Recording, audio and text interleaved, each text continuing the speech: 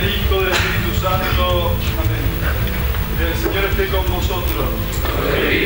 Y mientras el capellán Fernández sigue confesando a los soldados un número inusual, como se ha estado dando en estos días en las islas, el padre Jorge Pichinali se apresta a oficiar la misa. Un voluntario, 25 años, hijo de un coronel que es profesor en la Escuela Superior de Guerra, ha llegado aquí ayer.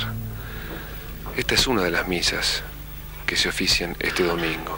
También de improviso se hace presente en la misa el gobernador militar de la provincia de las Malvinas, el general Mario Benjamín Menéndez.